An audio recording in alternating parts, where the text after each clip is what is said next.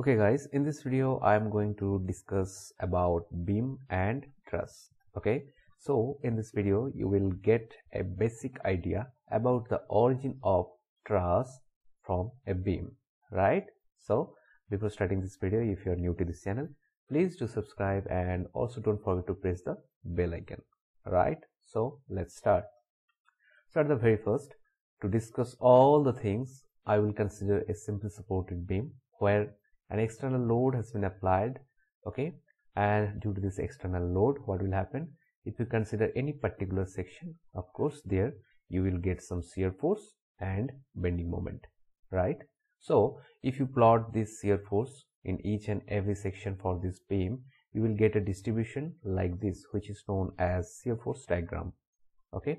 And also similarly if you consider the bending moment in each and every section of this beam and plot them accordingly you will get a diagram that is known as bending moment diagram. Okay i'm not going into the detail about how to draw this shear force diagram and bending moment diagram. I'm assuming that you are well aware about this one right? So now take the discussion furthermore. Okay so you have some simply supported beam with external load and you have calculated the bending moment diagram as well as the shear force diagram right? Now let's say you are using some wide flange section or I section as your beam member. Okay so in that I section or wide flange section if you consider this shear force how it is going to be distributed throughout this section? Well this is going to be distributed like this one. And here you can see that majority of this stress due to the shear force is being carried by this web part this is the web okay? Okay so this is all about the shear force. Now whatever the bending moment? If you consider any section of this beam there you will get some amount of bending moment. How this bending moment is going to be carried by this wide flange section or I section? Well very simple. The stress distribution is going to be looked like this. Okay?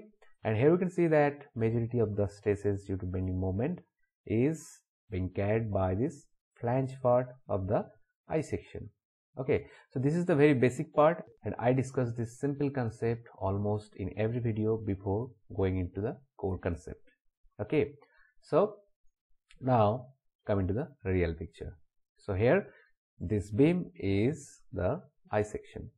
Okay, and due to this external load you will have some bending moment and shear force and you have also understood that majority of the shear stress is going to be carried by the web and the majority of the bending moment is going to be carried by the flange of the I section okay so due to this external load if you consider any section let's say this one okay here you will have some shear force and try to visualize this shear force in this real beam. Okay so this is the shear force and this is the balancing force.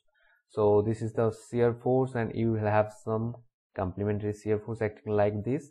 So this is nothing but a resultant tensile force and this is nothing but a resultant compressive force. Same thing happening for this zone also. So this is the shear force and this is the balancing force. And here this is the complementary force. This is the resultant tensile force. This is the resultant compressive force. Okay and the same thing you can draw for the right portion also. And if you mark the compressed zone here you can see that this is the compressed zone. Okay? This part of the web is being compressed. Agree? And here this part of the web is being compressed. Okay? And here in the right portion you will get that this portion of the web is being compressed and this portion is being compressed okay. And also if you consider this zone okay? So here this is the shear force acting like this and this okay? And this is the complementary shear force. So here you can see this is the resultant tensile force. So this zone of the web is actually being tensed. Just like this one here also you will get a zone where the web is being tensed right? Okay. So due to the external load you have got some idea how each and every part of this I section is being traced At the very first, due to this bending moment, the flanges are being stressed and the bottom flange is being tensioned and the top flange is being compressed. Why? Okay, if you simply draw the deflected diagram of this beam under the external load here, here you can see all this fiber has been compressed. Okay, and all the bottom fiber has been tensioned. Okay, so that is the reason the top flange of this I section has been compressed and the bottom flange of this I section has been tensioned. Okay, so let's visualize more clearly. At the very first, the stress due to bending moment, yes, they are going to be generated in the flanges only like this. Here you can see the top flange is being compressed and the bottom one is being tensioned. Okay, now it is time for shear force. So due to the shear force, mainly the web part is going to be stressed and the compressive stress are going to be like this. Okay? In the grain zone and the tensile stress are going to be like this. Okay? So initially you had some beam and now you have visualized due to the external load how the load is going to be dispersed throughout the beam. Okay?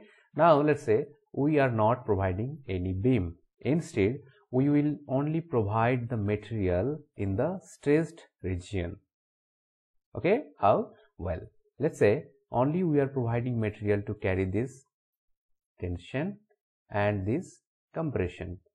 Okay and also we are only going to provide material to carry this compression this tension this compression this compression this tension and this compression. So how the shape will look like? Well it will look like something this. So this top member is going to be compressive member due to external load like this. This bottom one is going to be tensile member.